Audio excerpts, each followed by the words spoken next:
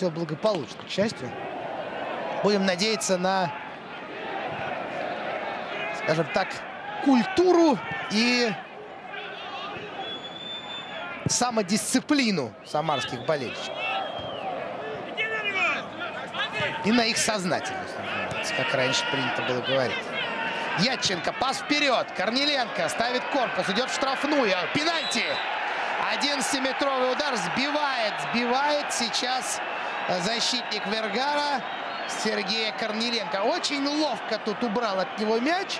И мощный защитник не сумел, не сумел подобрать ключи. Ногу-то он подобрал, да только не туда.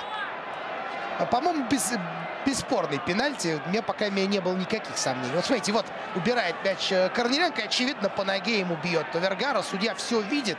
Вот пенальти, пенальтиевич, пенальтиев практически из учебника. Ну что, Мало будет бить.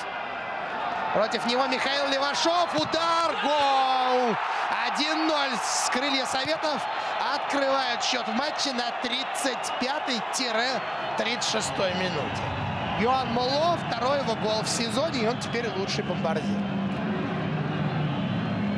Ну вот так вот Корнеленко все-таки благодаря своему опыту, индивидуальному мастерству сделал гол, по большому счету.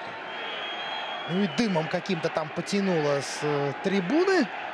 Видимо, вот эта самая петарда сказывается. И есть что отпраздновать. 1-0.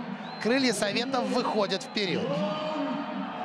Давайте смотреть еще раз. Вот он, 11-метровый удар. В общем, Корнеленко даже не сказать, что прям сам пытался падать. Ну, сложно было этого избежать при таком ударе по ноге. Левашов, кстати, обратите внимание, вообще не на линии стоит. Судьи могли бы проконтролировать. Хотя чаще всего закрывают на это глаза. И тут же ошибка еще одна игроков Арсенала. И самарцы продолжают атаковать. Моло. Пас. Удар. Нет, это подача. Вот удар.